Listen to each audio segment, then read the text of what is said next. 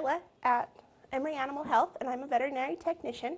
And we are here to show you a few of our pets that we have for adoption. We've got some really cute kitties this week. Um, the first one is this little guy. He's little orange and white, long-haired kitten. Um, he's about two months. He's great with kids.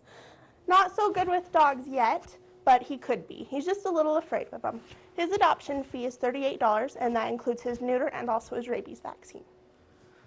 Now this little guy, who is super, super friendly, is a little Siamese mix. You can see he's got some cute blue eyes, maybe if he'll look at you. um, and he is great with dogs. He's played with our dogs quite a bit while we've had him out around the clinic. He's about three, maybe four months old, um, and his adoption is also 38, and that again would include his neuter and also his rabies vaccine.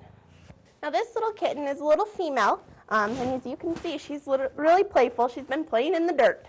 Um, she's got extra toes, and her adoption is 6250. Now that includes her spay and also her rabies vaccine.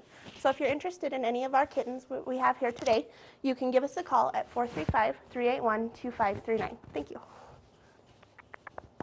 Hi, my name is Morgan with the Carbon County Animal Shelter. Here we have Charlie. He's a two-year-old male neuter Pomeranian. Um, on Monday he was hit by a car and it caused him to have a broken leg and a pelvis. The owner of Charlie couldn't afford the vet bill, so he gave him up to us. We are asking um, for donations for Charlie's vet bill uh, to help uh, Charlie find a home.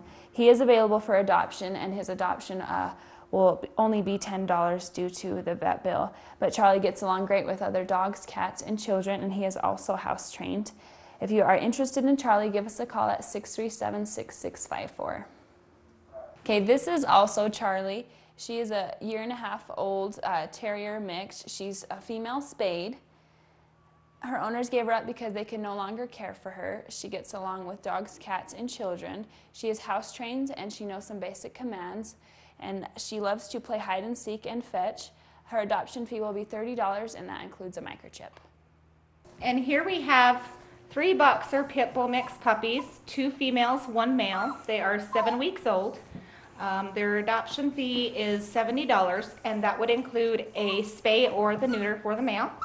Um, they would be great with any home at this age because you can train them as to fit your family's needs. So if you're interested in them, please call us here at the shelter. Okay, here we have a six-month-old Jack Russell Chihuahua mix. She came in the shelter as a stray.